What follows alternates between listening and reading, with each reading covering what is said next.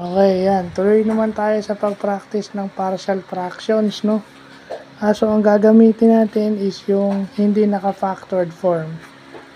So, nung nauna, factored form, ito hindi. So,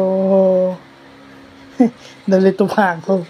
So, yan, kailangan kabisado natin yung rules ng signed numbers.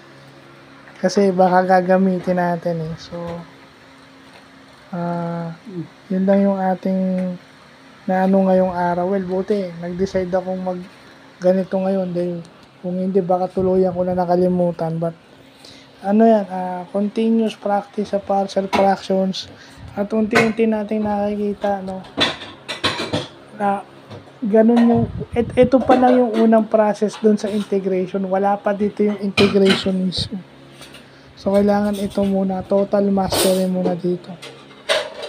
So, yun lang po.